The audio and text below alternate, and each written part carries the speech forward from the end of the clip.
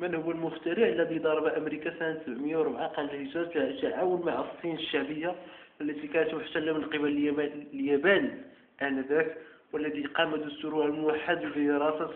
مشروع بناء سور العظيم في أمريكا الجنوبية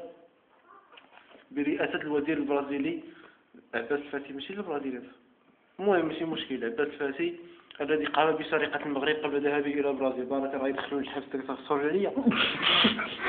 Thank you.